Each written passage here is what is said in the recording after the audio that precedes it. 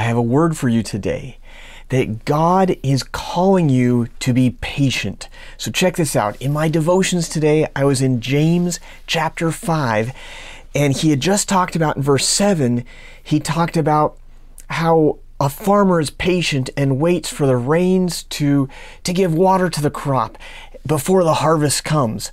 And in verse 8, he says, You also be patient, establish your hearts for the coming of the Lord is at hand.